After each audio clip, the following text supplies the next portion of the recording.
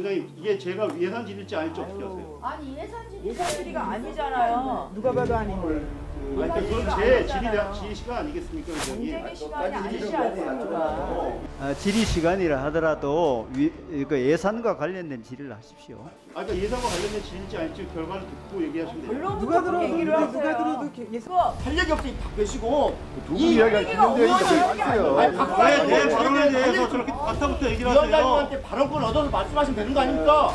이게 아니면 뭐야? 뭔 책임을 내가 뭐 책임 뭐 있습니까? 왜 그렇게 역적을 전 의원님 왜 이렇게 말씀하세요? 드러나 보고 말씀하세요. 드러나 보고. 예의를 좀 차리세요. 뭔 예의요?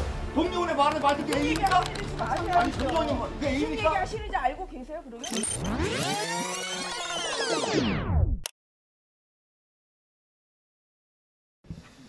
우리 경기도 김포울의 박상혁 의원입니다. 우리 정책기획수석님께 좀 질의를 드려야 될 것 같습니다. 너무 이 긴급한 아 국정기획수 기- 국정기획수석님이시군요. 예. 어제 좀 주요한 보도가 있어서 확인차 좀 보도 대통령실의 의견을 좀 확인을 해봐야 될 것 같습니다. 어제 우리 대법원 선고가 있었던 거 아시죠?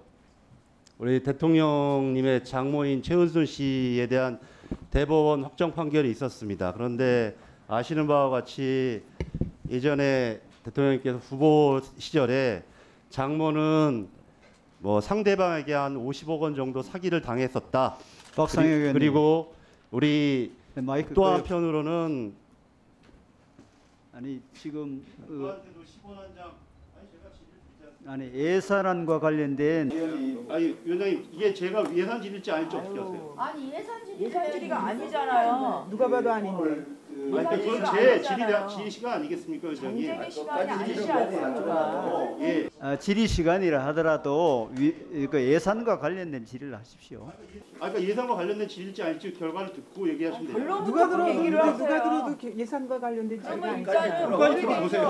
아 그러니까 예산과 관련된 질일지 아닐지 결과를 듣고 얘기하시면 돼요. 누가 결론부터 들어도 얘기를 누가 하세요. 들어도 게- 예산과 관련된 질의가 아니잖아요. 머리에 들어보세요. 끝까지 들은 게 아니라 손 앞에 의원님은 잘 아실 앞에 거예요. 제가 항상 발언하고 그 다음에 뒤에 결과를 하나 벗어나지 붙이는 건 않잖아요. 아니지 나와 않습니까? 있잖아. 뭘 뽑아? 뭐에 대해서 어떻게 물어보시면 하시고 위원장님이 제 질의 시간을 지금까지의 질의 내용을 보면 그러니까 제가 어떻게 왜 말씀을 드리는지는 제 질의 시간 안에서 할애돼야 되는 거아 아니겠습니까? 이거를 왜 그렇게 지금 그 예산안 질의가 회의 성격에 맞게 해주시는 게 그럼 1분 드리시죠. 아니 아까 1분 10여 초가 남았었는데 아니 내려주세요. 끝까지 들어봐야 하는 거예요. 끝까지 아 빅pit을 들어보고 하면 내려주세요 되지. 그거를. 왜? 질문 내용을 제가 파보고 판단하겠습니다. 네네. 아니 왜 제 발언을 검열을 하세요?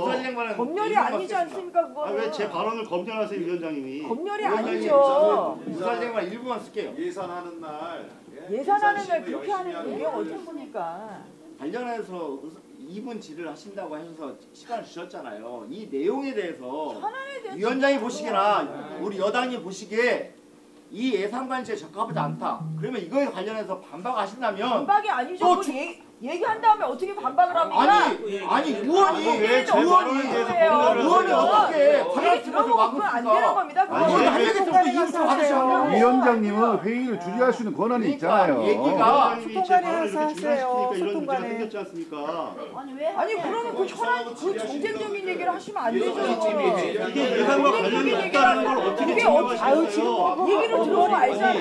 우리 그거를. 대통령실 활동 중에 예산과 관계되지 않은 활동들이 있어요? 무슨 얘기- 허가를 받아야 되니까 무슨 권한을 제 위원장은 발언을 제지하시고요? 네? 무슨 권한이 있으세요? 위원장한테 얘기를 하세요. 어느 어느 항목하고 아니 얘기가 가만히 있으세요 그럼. 위원장님 굉장히 유감스럽습니다. 제 발언을 임의적으로 제지하는 경우는 전 처음 본 것 같습니다.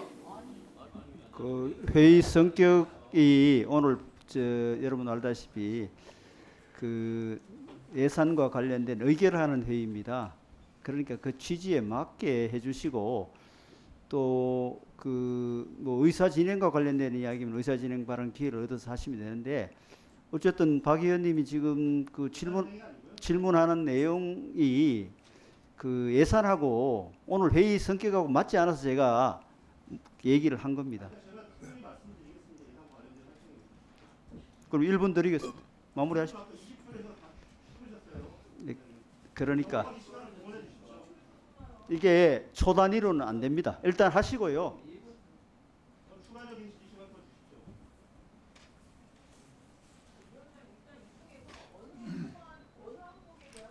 아왜제 거에 대해서 그렇게 사전 검열을 하세요? 발언하세요. 아니 말씀 듣고 반박해서 또 그런 거 얻어서 하시라니까요. 그다 되시고요. 할 얘기 없으니 다 되시고 이 의원이 어, 저, 의원님들, 그 저 제가 어, 됐습니다. 저 다, 의원이 발언권 없이 말씀하시잖아요. 발언권 얻고 말씀하시고 얘기 국회랑 공간이 의원이 발언하고 의원에서 여당이든 야당 의원 간에 그러다 의견이 다르면 다른 의견을 나시고 얘기하시면 예, 신정대 의원님 발언권 받아서 하시고요. 다음 저 박상혜 의원님 저 마무리해 주세요. 전 의원이 왜 이렇게 말씀하시죠? 어, 신 의원님, 어, 장 전주 의원님, 예. 아니 아니. 의원님들, 그저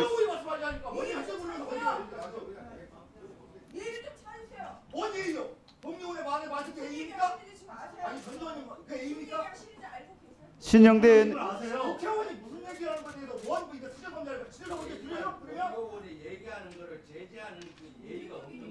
자 빨리 마무리해 주세요.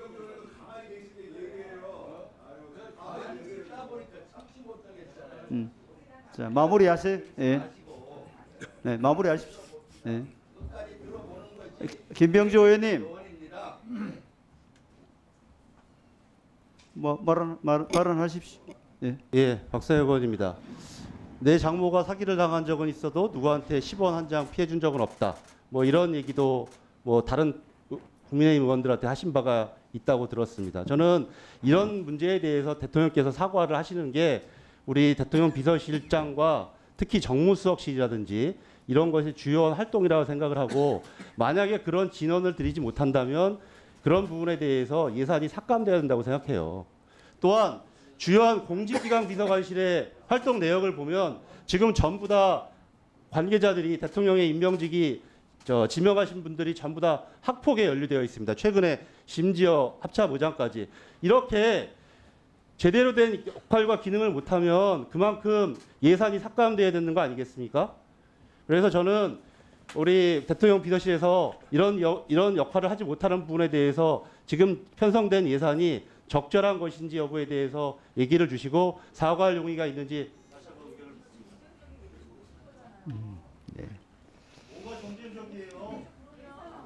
자. 김병주 의원님 협 아니 협조를 해주시고요. 그 예산과 관련된 오늘 의결하는 자리에서 이게 저, 우리가 서로 그, 그 질문이라든지 또 답변하는 그, 그, 그 우리가 어떻게 해야 되는지 다 서로 잘 알고 있지 않습니까? 예, 답변 드리게 답변 드리겠습니다. 어, 존경하는 박 의원님 질의의 취지는 제가 알겠습니다. 구체적으로 어떤 예산을 말씀하시는지 제가 잘 그 부분은 이해가 되지가 않습니다. 그러니까 그 아니 그저 아니 박 의원님 왜 이러십니까? 왜 이러십니까 정말로? 제가 위원회를 원만하게 운영하려고 애를 쓰고 있습니다. 그 취지에 좀 협조를 해주십시오. 그저 그건 정치적인 문제는 또 다른 그 저 의사 표시할 수 있는 기회가 있지 않습니까? 오늘 현안 질의는 없습니다. 그러니까 어, 그러니까 박 의원님 그 정도 선에서 어, 문제 제기하시고 양해해 주세요.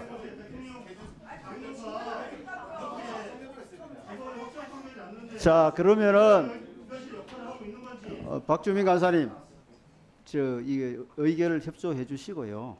뭐 또 그래 나, 나중에 또 우리 저 정치적인 문- 정치적인 문제로 얘기하면 되잖아요. 예산 지금 뭐 의결하려 그러는데 이렇게 하시면은 진행이 안 되잖아요. 예. 예, 예. 그러면은 박 의원님 그 문제는 또 우리 저 양당 간사끼리 의논하게 할 테니까 예산을 지금 의결을 해야 될 시간에 이러시면 어떻게 합니까? 위원장님 말씀하신 것처럼 예산 의결에 제일 중요한 건 활동을 제대로 하는 거 아니겠습니까? 그 예산을 가지고.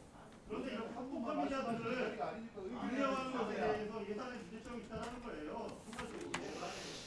그래 하여튼 여러분들 아니 김병주 의원님 지금 이거 의결을 하고 의결하고 의사진행 발언 드릴게 의결하고. 예 예. 자 그러면은 그 소위 위원장이 심사한 그 보고한 내용에 대해 다른 이의 없으시면 의결하도록 하겠습니다. 예